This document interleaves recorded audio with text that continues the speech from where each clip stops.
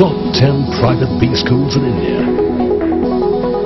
Our focus is on cutting edge domain knowledge and benchmarking with world-class businesses. Big Tech.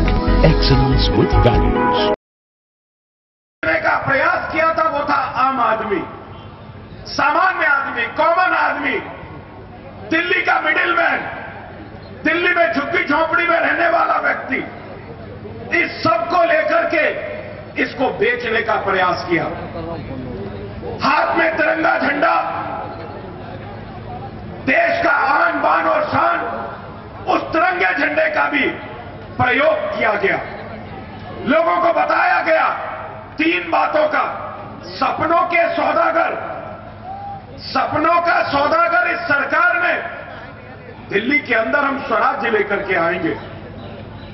Delhi के अंदर से भ्रष्टाचार खत्म होगा।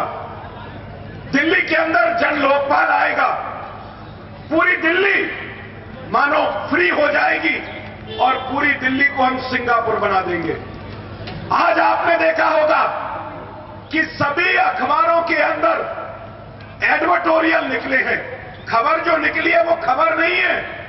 उस पर करोड़ों रुपया दिया गया है। 526 करोड़ रुपया जिस तरीके से आज लगातार पूरे देश के अखबारों में जो एडवर्टाइजमेंट दिए गए हैं, केजरीवाल साहब कार्यकर्ता, ध्यान से सुनो। मैं केजरीवाल, बाबले की सरकार को, फर्जीवाल की सरकार को यह चुनौती देना चाहता हूँ, कहना चाहता हूँ कि आपके पास पैसा है। आपके पास दिल्ली की जनता के विकास का जो पैसा है, जब तक आप दुरुपयोग कर सकते कर लो। लेकिन भारतीय जनता पार्टी के पास मेरे पास भारतीय जनता पार्टी के पास मेरा कार्यकर्ता है जो आपकी ईट से ईट बजा करके आपको बाहर कर देगा। और मैं आपसे कहता हूँ कि वो समय आएगा जल्दी। मेरे पीछे आप ज़रूर बोलिएगा कि सिंहासन खाली करो कि जनता आती है। इस जनता ने आपको आगे लेकर के आए जनता की आम भावनाओं के साथ, जनता की मूल भावनाओं के साथ आपने खिलवाड़ किया। आप भ्रष्टाचार आपने मिलाने की बात की थी। आपके मंत्री, यानी पुरानी दिल्ली के मंत्री तो ऐसा लग रहा है कि टेंडर प्रक्रिया है। पहले आते छह महीने के लिए टेंडर उठ गया, मानो। उन्होंने भ्रष्टाचार किया और आपने एडमिट किया कि मैं इनको, इसको भी अपनी उपलब्धि में गिरा रहे।